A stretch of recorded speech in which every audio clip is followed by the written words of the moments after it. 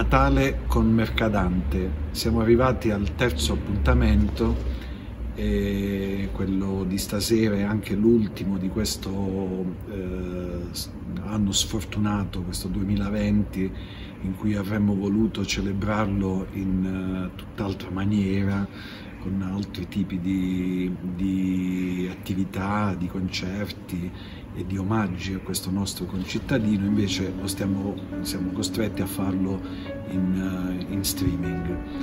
Siamo qui davanti alla casa natale di Mercadante, alle mie spalle, eh, ma siamo anche davanti alla chiesa di San Nicola, l'altra chiesa, quella di San Biagio, dove la leggenda vuole che Mercadante abbia iniziato il suo percorso musicale perché la, eh, la sua passione è nata proprio sugli scalini di queste, di queste due chiese, dove pare da bambino amasse suonare il flauto, che sarà per sempre poi il suo strumento preferito.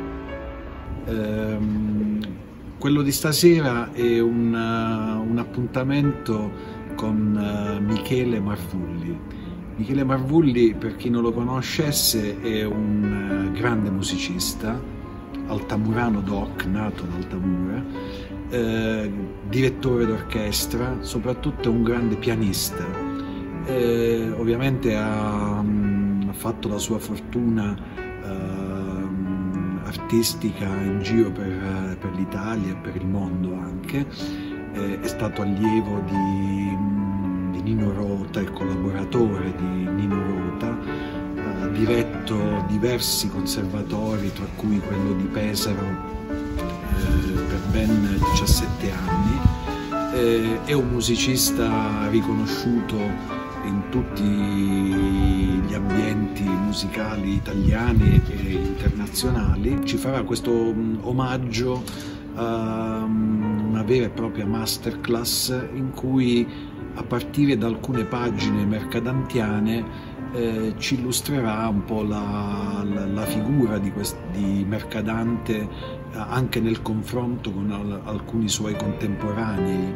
Eh, lo farà con la sensibilità del, di un musicista e di un pianista, quindi un, um, vi auguro un buon ascolto di questa e una buona visione, ma nello stesso tempo eh, approfitto per fare a nome di tutta l'amministrazione comunale un augurio sincero di un nuovo anno e di un buon 2021. Grazie.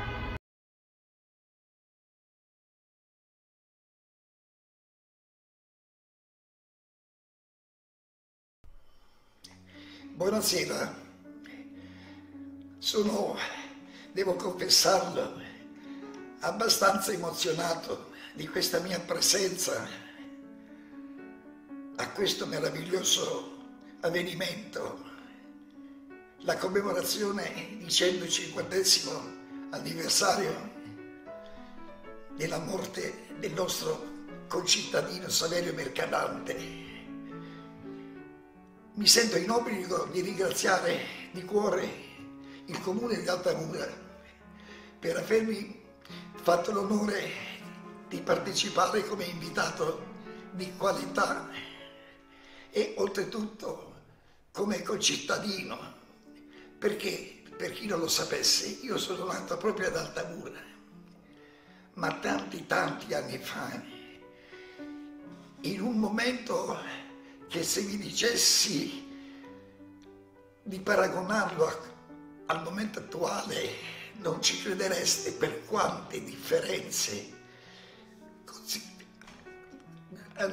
quante differenze di vita hanno caratterizzato in 90 anni il percorso della mia cara città. Vissi i primi anni in una appartamento moderno di via Santa Caterina. Qualche cielo sui miei genitori. Papà era un funzionario del Banco di Napoli, mamma una casaliga, però ambedue dilettanti di musica. Papà aveva imparato a suonare il violino da solo e mamma aveva studiato pianoforte. Un cenno meriterebbero anche i miei nonni. Mio nonno Michele Marvulli fu professore di matematica e poi preside del liceo. E il nonno materno, Antonio D'Alessio, va considerato una specie di celebrità di Altamura. Credo che fosse l'unico, o perlomeno il più importante fotografo esistente già ai primi del Novecento. Pensate che ho scoperto che una sua foto si vende su Amazon perfino. Ne voglio postare una che mi trovo così per caso, insieme a qualche foto dei miei genitori e a qualcuno della mia, della mia prima infanzia.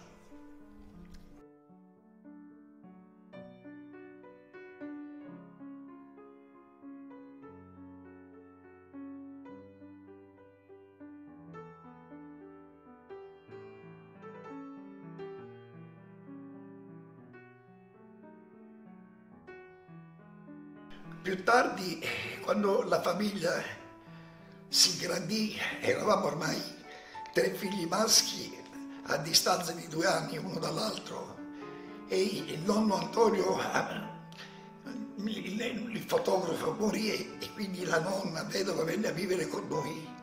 Papà eh, dovette trasferirsi in una casa più grande e capitammo, guarda caso, proprio in quella meravigliosa, grandissima casa dove era vissuto Saverio Mercadante, l'illustro concittadino.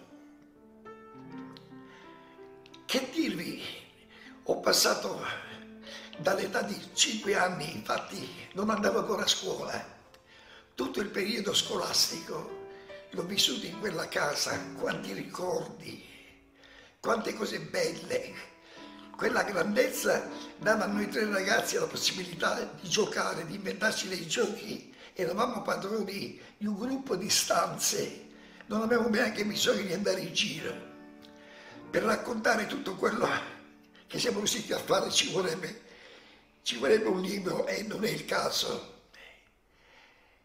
Ma mi preme ricordare che quando poi dopo, quando papà fu promosso e trasferito in sede a Bari. Questo avvenne nel 1943.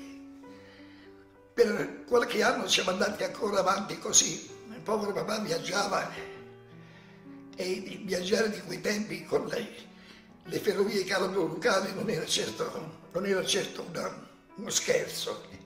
Alla fine nel 1947 abbiamo deciso di trasferirci anche noi e abbandonai a malincuore la mia meravigliosa Altamura per trasferirmi a Bari.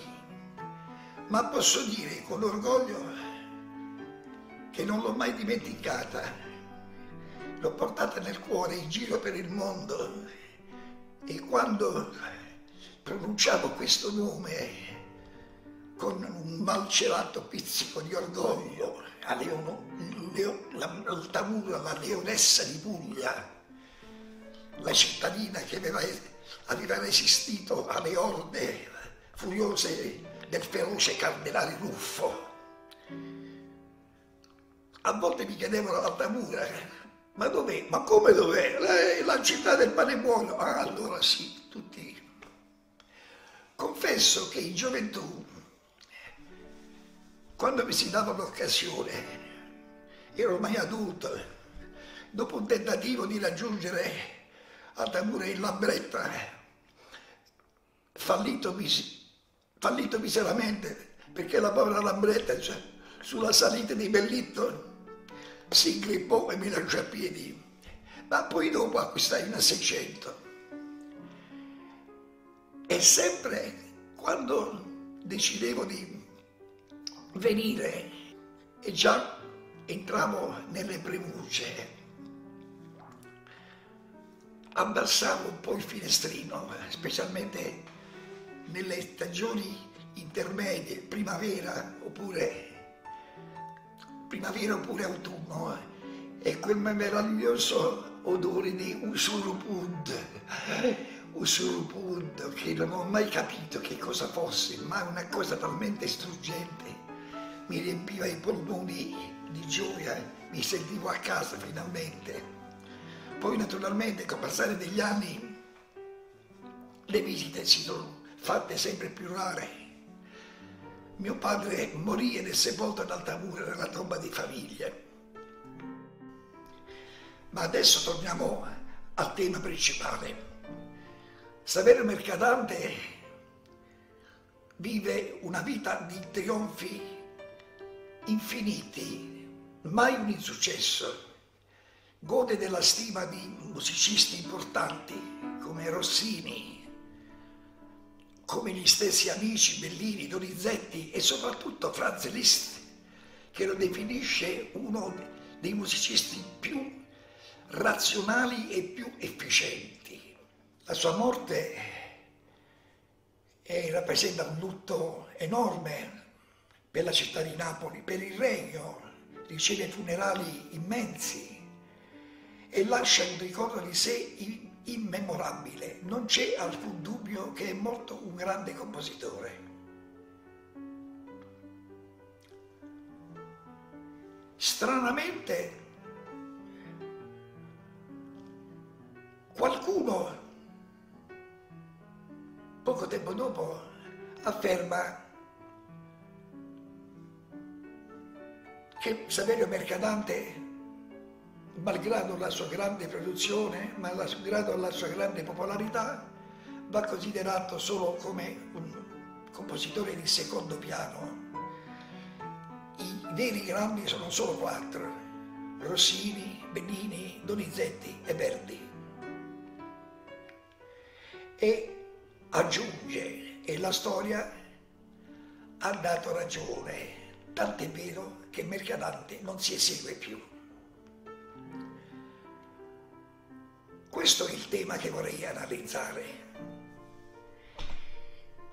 Fermandosi sul fatto che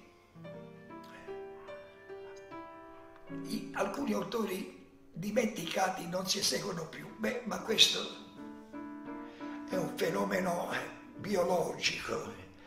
Basti pensare che, che capitò al povero Giovanni Sebastiano Bach che 50 anni dopo la sua morte nessuno più si ricordava che, stato, c'era stato questo grande musicista. Se non fosse stato per Felix Mendelssohn che nel 1829 riscoprì un oratorio di Bach e lo eseguì pubblicamente e lo rese noto. Forse oggi nessuno parlerebbe di Bach, ma decine di musicisti. Piccini a Bari, musicista strepitoso, detto legge a Parigi, era ritenuto il grandissimo, distrutto da una stupida gara con Gluck. A parte il fatto che gli avvenimenti dell'Ottocento e le successive varia variabili avvengono così tanto rapidamente che non fai a tempo a renderti conto che c'è un atteggiamento, un indirizzo culturale che già ne sorge un'altra. Qualche breve cenno sulla, sul, sul percorso di studi di Mercadante bisogna farlo. All'età di 13 anni avendo dimostrato di avere um, una, particolare, um, particolare, una particolare attenzione, un talento, come si direbbe, per la musica, fu ammesso al Re, Reale Conservatorio di San Sebastiano di Napoli, approfittando di un posto libero. Mercadante fortunosamente si trovò in una scuola che qualche anno dopo, esattamente nel 1806, con un editto del re borbonico residente a Napoli, mi pare Francesco I, fu eh, trasformato in Reale Conservatorio di Musica e prese il nome di San Pietro a Maiella. Ecco, Mercadante entra in questo collegio e tra i suoi insegnanti del Fenaroli, incontra anche il conterraneo Giacomo Tritto e poi il direttore dell'istituto, il feroce e terribile Nicola Ziccarelli, temutissimo, supercritico, ebbe insieme, a, insieme alla, al nostro mercadante altri due grandissimi talenti, Vincenzo Bellini e Gaetano Donizetti. Ma severissimo con loro. Di Bellini disse che non aveva mai capito la strumentazione. Donizetti sopportava sì e no i suoi personaggi che li reputava dei, dei fantocci un po' improvvisati. Mercadante aveva un carattere molto resistente, dovette subire anche lui molte rampoglie, ma le digerì per bene e a quell'epoca si rispettavano i maestri. E bisogna dire che gli inizi della produzione musicale del Mercadante furono sicuramente ispirati ai dottissimi insegnamenti dello Zigarelli. Rossini, quando conobbe, quando venne a conoscenza dei lavori di Mercadante, si congratulò personalmente con lo Zigarelli dicendo hai fatto un ottimo allievo. Tra parentesi, lo Zigarelli non, non era stato neanche molto, molto benevolo con Rossini, gli aveva criticato, gli aveva trovato un sacco, un sacco di difetti, ma questa è un'altra storia. A 24 anni la prima opera del San Carlo del nuovo astro nascente, Saverio Mercadante, ma il vero grande successo, quello che lo consacra da un giorno all'altro come il nuovo genio della cultura italiana e alla Scala di Milano con l'opera Elisa e Claudio, un'opera che ottiene un successo strepitoso, a parte le numerose recite fatte alla Scala di Milano, viene ripetuta dappertutto, esordisce perfino in Austria, con un trionfo un trionfo inimmaginabile. E di lì Mercadante inizia a comporre con una rapidità straordinaria. Pensate che nel giro di pochi anni scrive più di una trentina di opere. Arriverà alla fine della sua vita a comporre circa una sessantina. Passando Mercadante di successo in successo, con una vita molto avventuriosa, con soggiorni anche di anni in Spagna, in Portogallo, poi dopo maestro di cappella a Novara. Il suo stile si cambia quando viene a contatto con altri musicisti. Comincia a pensare che certi orpelli sono, mm, costituiscono l'elemento volgare che non si addice al, al melodramma che dovrebbe essere concepito più seriosamente, più drammaticamente esposto. La, l'accostamento con Meyerbeer a Parigi gli aprì nuovi orizzonti, capì che l'orchestrazione poteva essere più leggera, poteva essere meno bandistica, capì, capì che si potevano eliminare i crescendi rossiniani, che si potevano eliminare le cabalette perché rappresentavano la parte banale, la parte più volgare dell'opera. La cabaletta era la stretta finale dell'aria dove praticamente l'elemento canoro aveva il sopravvento e quindi era un fenomeno di bravura, ma una bravura gratuita che non, non, si, non aderiva alla drammaticità del, del soggetto, quello che invece Mercadante tendeva a ridistribuire. Cabalette famose possono essere per esempio eh, la, dal Rigoletto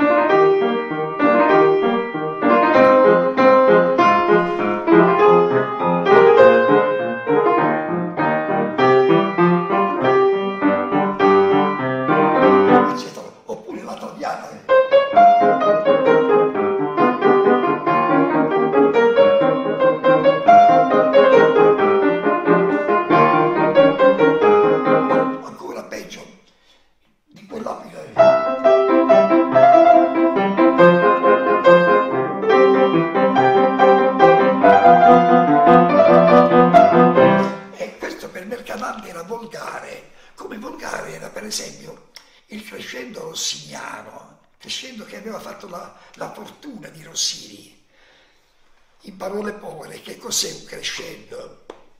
Ne esiste uno mm, nel Novecento in un'opera famosissima che tutti conoscerete, eh? il famoso Bolero di Ravel.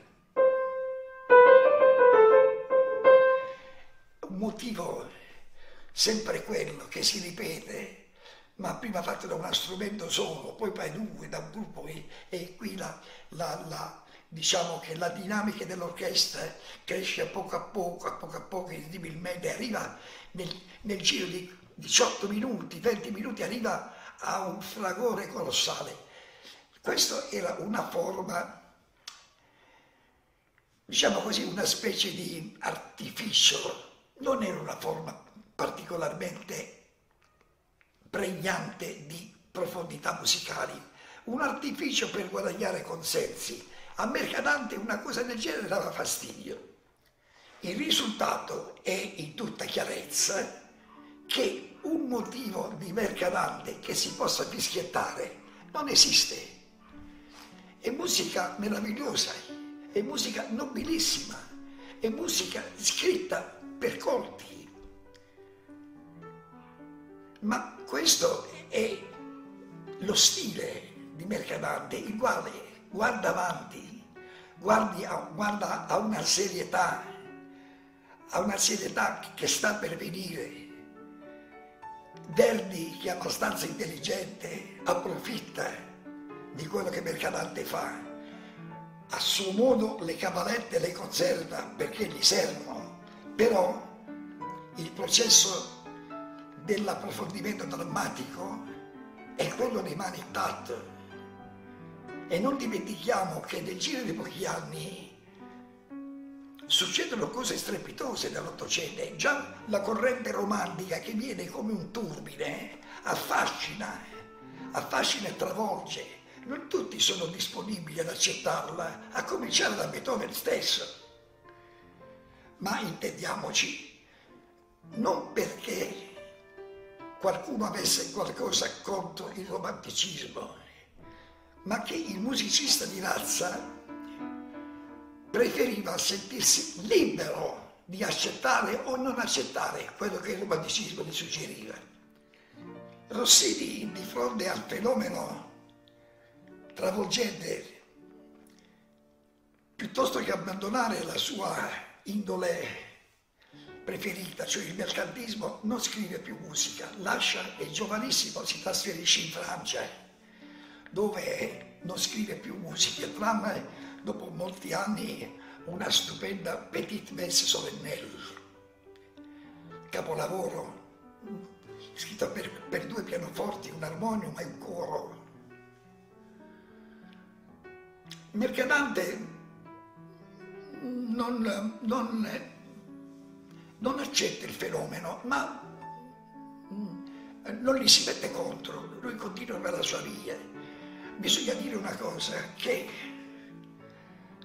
l'aver accettato a 45 anni di dirigere un conservatorio, naturalmente gli comporta una responsabilità enorme e quindi le sue produzioni devono per forza, per forza di cosa diminuire di diventare più scarse, cioè più diradate nel tempo. Non fai a tempo a capire che Verdi sta stravolgendo l'idea del melodramma, crea dei capolavori come il famoso trittico, Rigoletto, Traviata, Trovatore, quando ti sorge un altro, sorge un altro astro. Che ti scrive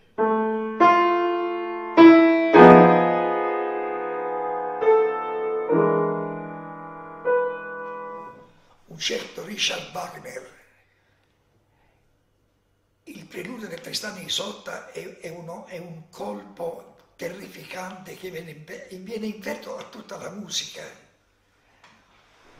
Eseguirlo al pianoforte è, dà solo un'idea.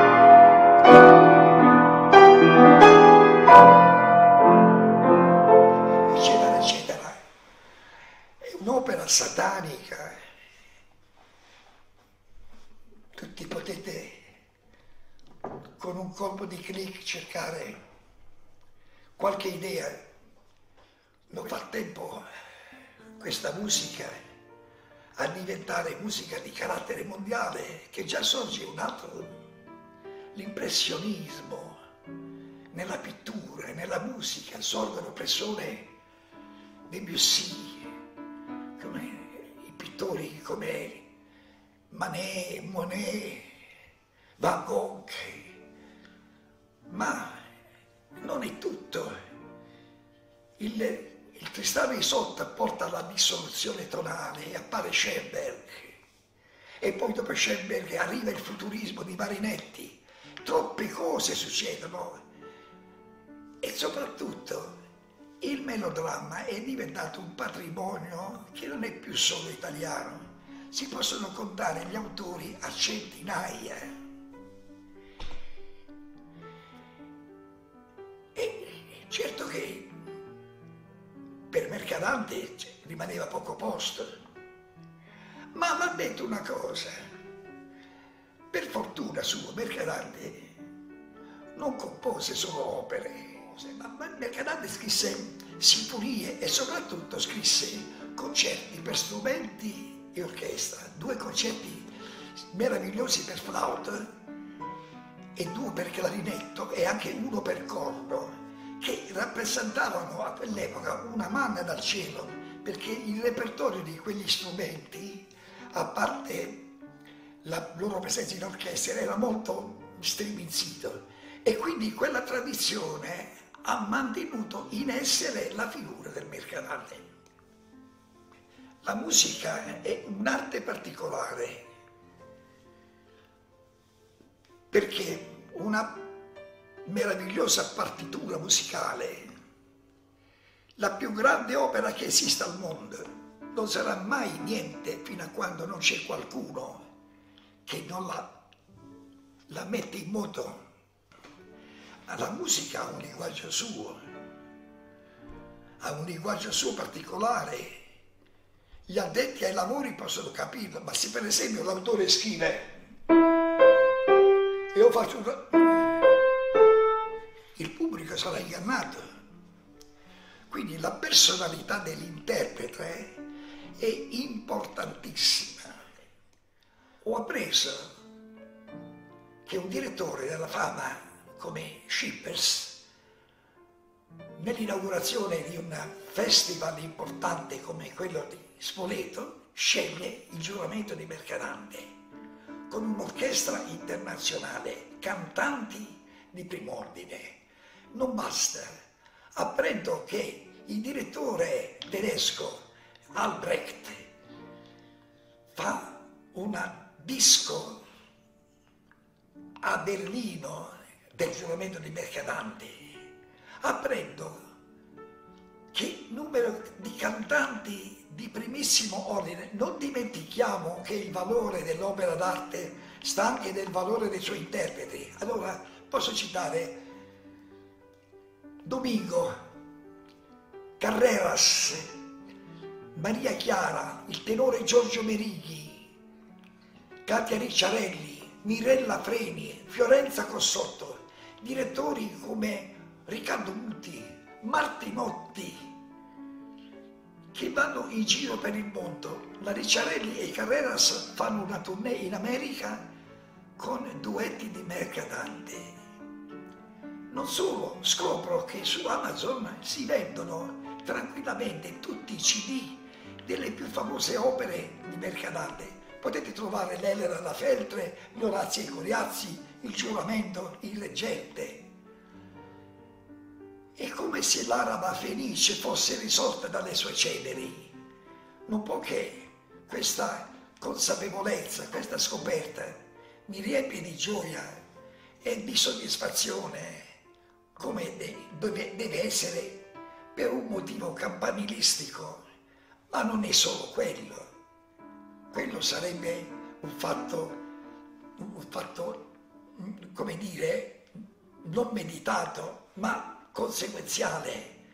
Io ne sono felice come musicista che a Mercadante venga restituito quel valore che ingiustamente fosse per un cumulo di avvenimenti non dipendenti dalla sua volontà, ma l'educazione del pubblico, dalla ineducazione del pubblico, non ha potuto percepire e non è mai troppo tardi.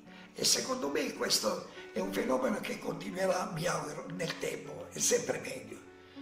Detto questo, rimane un piccolo dubbio che mi piace esternare. Questi grandi, voglio paragonare Mercadante a Rossini, perché praticamente somigliano non solo dal punto di vista della musica, ma, ma dal punto di vista umano.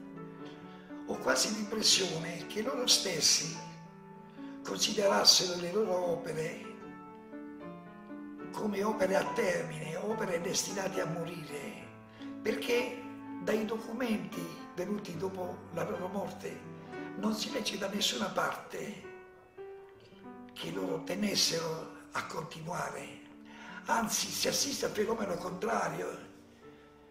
Mentre Wagner al colmo della gloria si fa costruire un teatro dove si devono rappresentare solo le sue opere. Rossini e Mercadante anche, per Rossini morendo dona tutto il suo patrimonio immenso immenso, un patrimonio miliardario per quell'epoca, al comune di Pesaro con l'intento di creare una scuola di musica perché è giusto che la musica continui attraverso i giovani.